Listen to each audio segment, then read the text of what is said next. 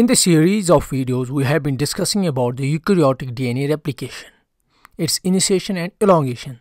Now in this video, we'll be discussing about the termination of DNA replication in eukaryotes. The termination of DNA replication in eukaryotes is very different than prokaryotes and it's easily managed in eukaryotes. Because in prokaryotes we have circular DNA and the replication fork needs to be stopped. But in eukaryotes we have a DNA molecule in a linear fashion as shown in the diagram. These two strands are running parallel to each other in opposite directions.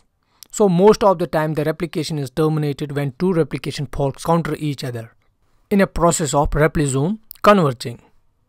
In this diagram you can see the MCM complex that is the helicase in eukaryotes.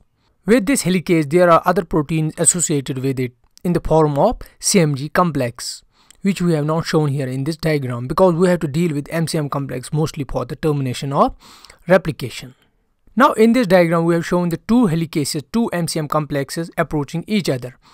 Because in eukaryotes we have different RS sites, we have lots of RS sites where the replication begins. That's why there are numerous MCM complexes replicating the DNA molecule. Now let's focus on the DNA ends.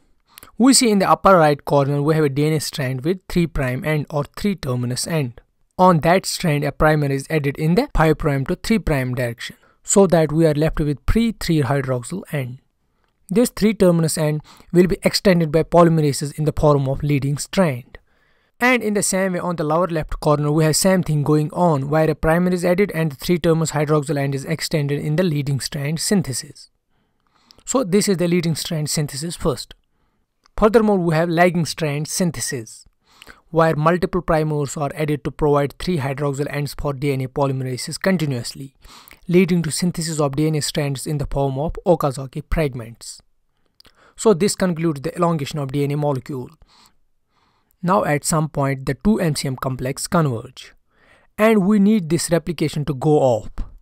So for that purpose we have SCF-E3 ubiquitin ligase complex. The SCF is the SKP-CDC53 ubiquitin Fbox protein. This protein comes in and catalyzes the ubiquitination of MCM protein on its seventh protein. So MCM gets polyubiquitinated on its lysine residues called the K48 ubiquitin chain. K is the symbol for lysine and this K48 ubiquitination chain mostly tags the protein for degradation by proteasomes. But in this case the ubiquitinated protein is not degraded because here the ubiquitinated protein is instantly recognized by P97 protein, which is a protein remodeler. The P97 is the transitional endoplasmic reticulum ATPase, also known as valosin containing protein VCP. This is the segregase protein or segregase enzyme, which has the function to segregate the complex proteins.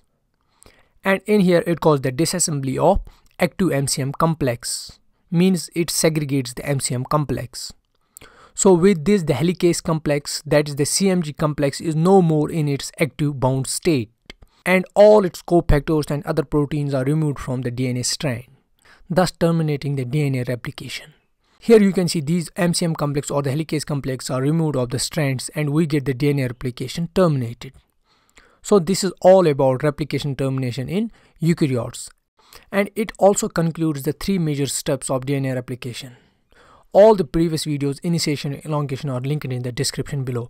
I hope you like the video. If you do so, then hit like, subscribe and do consider supporting on Patreon to get more videos like that. Thanks.